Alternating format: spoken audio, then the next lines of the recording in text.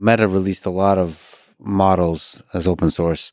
So uh, the massively multilingual speech model, the Yeah, ImageBind model. That's. I mean, I'll, I'll, I'll ask you questions about those, but the point is, uh, you've open sourced quite a lot. You've been spearheading the open source movement. Where's uh, that's really positive, inspiring to see from one angle, from the research angle. Of course, there's folks who are really terrified about the existential threat of artificial intelligence, and those folks will say that you, know um, you have to be careful about the open sourcing uh, step.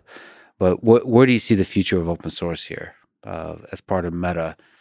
The tension here is: do you want to release the magic sauce? That's one tension, and the other one is: uh, do you want to put a powerful tool in the hands of uh, bad actors, even though it probably has a huge amount of positive impact also?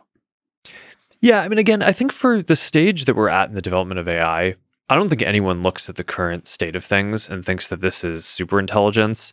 Um, and you know, the models that we're talking about, for, for the, the llama models here, are you know generally an order of magnitude smaller than what OpenAI or, or Google are doing. So, I, I think that at least for the stage that we're at now, the equity is balanced strongly, in my view, towards doing this more openly. Um, I, I think if you got something that was closer to super intelligence, then I think you'd have to discuss that more and, and think through that um, a lot more. And we, we haven't made a decision yet as to what we would do if we were in that position. But I don't think I, I think there's a good chance that we're pretty far off from that position. So, um, so I, I'm I'm not.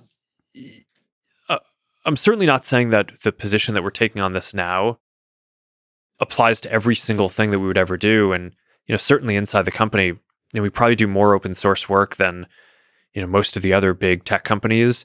But we also don't open source everything. Right? A lot of our you know, the core kind of app code for WhatsApp or Instagram or something. I mean, we're we're not open sourcing that. It's not like a a general enough piece of software that would be useful for a lot of people to do different things. Um, you know, whereas the software that we do, whether it's like a an open source server design or um, or basically, you know, things like Memcache, right? Like a, a good, you know, it was was probably our earliest project um, that that I worked on. It was probably one of the last things that I that I coded and and, and led directly for the company. Yeah. Um, but but basically, this like caching tool um, for for quick data data retrieval. Um, these are things that are just broadly useful across like anything that you want to build, and and I think that some of the language models now have that feel, as well as some of the other things that we're building, like the translation tool that that you just referenced.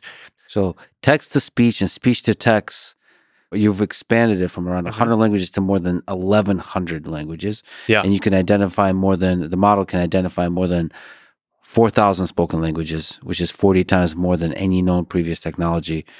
To me, that's really, really, really exciting in terms of connecting the world, breaking down barriers that language creates. Yeah, I think being able to translate between all of these different pieces in real time, this has been a kind of common sci-fi idea that we'd all have, you know, whether it's I don't know, an earbud or glasses or something that can help translate in real time um, between all these different languages, and that's one that I think technology is basically delivering now. So I, I think, yeah, I think that's pretty pretty exciting.